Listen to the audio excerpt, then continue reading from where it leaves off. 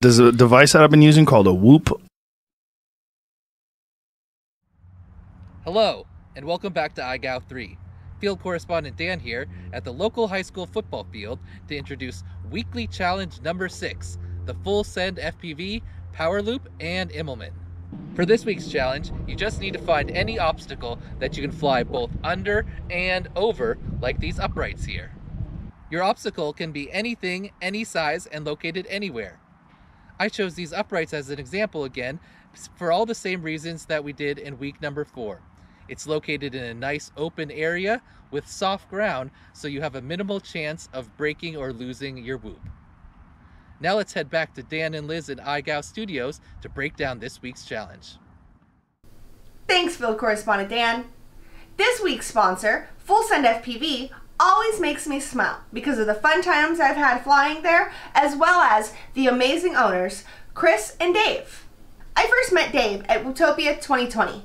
He was so nice, and I had a blast hanging out with him and everybody else and getting to know a large portion of the race community. After that, we kept in touch through races and things, and then with Whoop Wars Denver, I got to see him again and also meet Chris in person. They're a couple of great guys. If you're ever at Full Send and you wonder to yourself, which one of these people is Dave? Just look for the person with the giant light up LED unicorn horn on their goggles. I still need to get one of those from you, Dave. Full Send FPV is one of the only locations across the country that has indoor space dedicated to whoop racing year round. As our sport continues to grow, I hope that every city eventually has a location like Full Send where people of all types are welcomed with open arms into the local whoop community. I know that Chris and Dave and the whole team at Full Send will be an important resource for other clubs and organizations that look to replicate their success in the future. Also check out Full Send FPV on social media where they regularly make cool posts and live stream their local races. The Full Send FPV website carries various drone parts and they also offer services like drone repairs. And they're going to be coming out with their very own line of bind and fly drones aimed at beginners soon. I can't wait until I get to go to Full Send again. And if you're a Whoop pilot, you need to go there at least one time in your life. Now, let's jump in the requirements for weekly challenge number six, the Full Send, Power Loop, and Immelman. Requirement number zero is that your video can be no longer than 60 seconds and you must follow all the IGOW 3 posting rules. Requirement number one is that you must find or set up an obstacle that you can fly both under and over. It can be anything, any size, anywhere. And you can use different obstacles and clips for requirement number two and three. Requirement number two is that you must perform at least one Immelman. This is done by going out to fly, finding a stray cat, bringing him home, and then naming him after the trick. We're just kidding. So an Immelman is done by flying underneath an obstacle, then pitching back while increasing your throttle until you are inverted and flying back over the top of the obstacle. Then Rolling back to level, you must finish the maneuver flying in the opposite direction and at a higher altitude than when you started. When you think about it, the Immelman is actually just the opposite of a split S. You may even have done an Immelman on accident before because it's a good way to bail out of a power loop where you haven't given yourself enough backward momentum. Which leads me right into requirement number three. You must perform at least two back-to-back -back power loops. To complete this requirement, you must start by flying underneath the obstacle, then pitch back and throttle up so you loop back over the obstacle while backflipping, then catch yourself and repeat by again flying under the obstacle to complete your first power loop and start your second power loop. Then again loop back up and over the obstacle while inverted, then finally complete the second loop by flying under the obstacle for a third time. You must complete the second loop by flying under the obstacle to complete requirement number three. Remember, whenever there's a challenge involving a loop, you must go under the obstacle a second time in order to complete it, unless it has been otherwise stated. For part of the Full Send FPV week, Dave wanted to include one of his iconic obstacles, So this week we will be holding a $10 bonus challenge involving the missile launcher. The missile launcher was an obstacle during Whoop Wars Denver that's very similar to a uh, window pane gate where you have four entrances, but instead of it just being a thin pane, it's actually extended out a little bit and it's got a slight up tilt. The first few times I flew through it, I had some issues because I wasn't accustomed going through a tunnel up at an angle. But after a while, I got it down and it quickly became a really fun obstacle. I agree. It was my favorite obstacle at Whoop Wars Denver because it was really cool to look at and fun to fly through. Don't worry, you don't have to build an exact replica of the missile launcher. You're just going to need a window pane which has four square gates in one plane.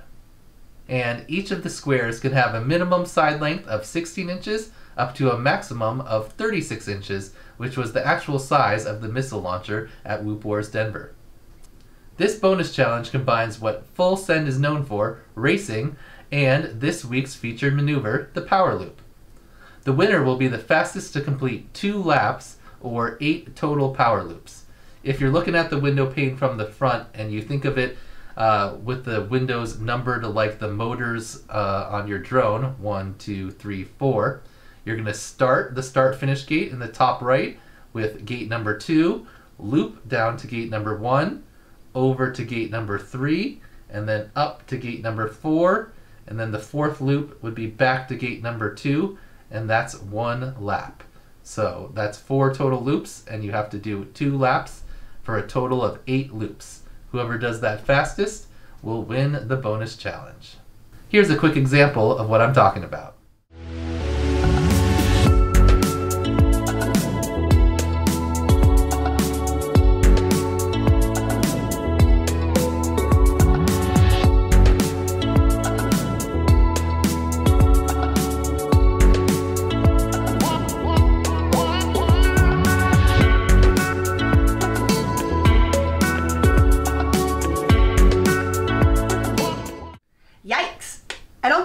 Putting that in my submission, but I will be practicing my power loops because they are something that I've wanted to get better at. This week, you'll have to perform one of FPV's most recognizable moves, as well as a move that shares its name with a pretty cool cat. Good luck and happy whooping. Where did you put pretty cool in there?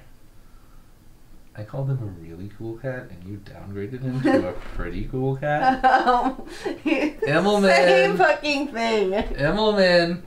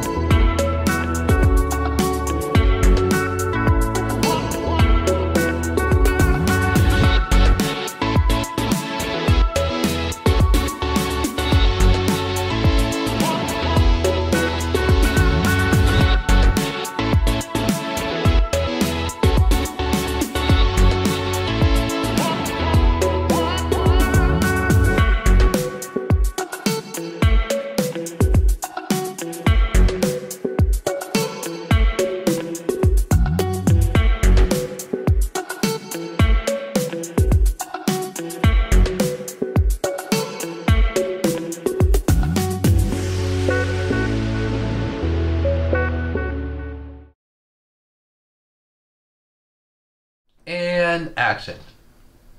You may have. so funny. You may even have done it in a moment on accident.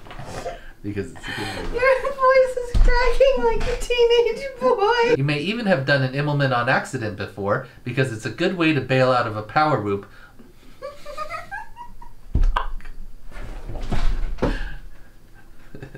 You've been shrunken down on the magic school bus and are riding on one. Requirement number three you must perform at least two back to back power loops.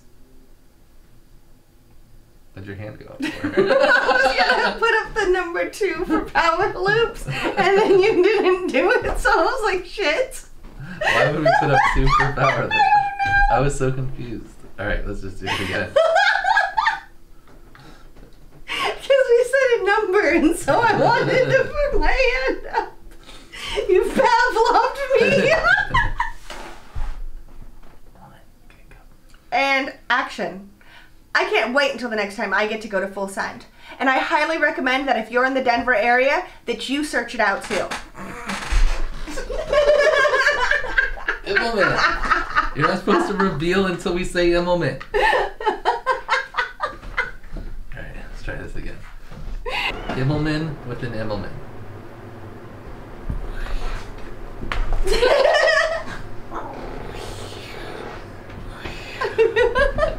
Good job, Immelman.